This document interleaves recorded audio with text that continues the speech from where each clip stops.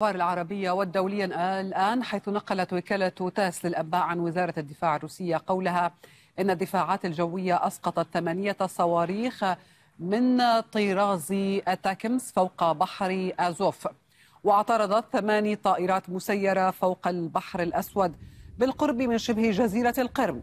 وقال مسؤول في شبه الجزيرة أن حطام الصواريخ ألحق أضرارا بعبارتين قرب مدينة كيريتش ما أدى إلى تعليق حركة العبارات وإغلاق السلطات الروسية حركة السيارات على جسر القرم الرئيسي الذي يربط شبه الجزيرة بروسيا.